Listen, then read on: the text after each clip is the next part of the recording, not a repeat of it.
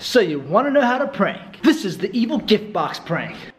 I got you a present. I didn't get you anything. What is this? it's a surprise. So oh my god. Dude, oh man.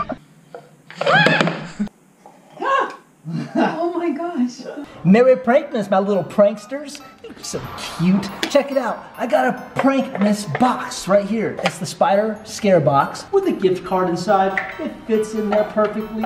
You wrap it up, and when your friends or family, whoever opens this up, they're like, oh, what do we got here? Oh, oh, I got a gift card. This is awesome. When you give this gift to somebody, you're gonna get the best reaction out of them. Prankkits.com. It's available now. This is the evil gift box. It's a spider scare box with a gift card inside. The perfect gift card holder. Oh my gosh.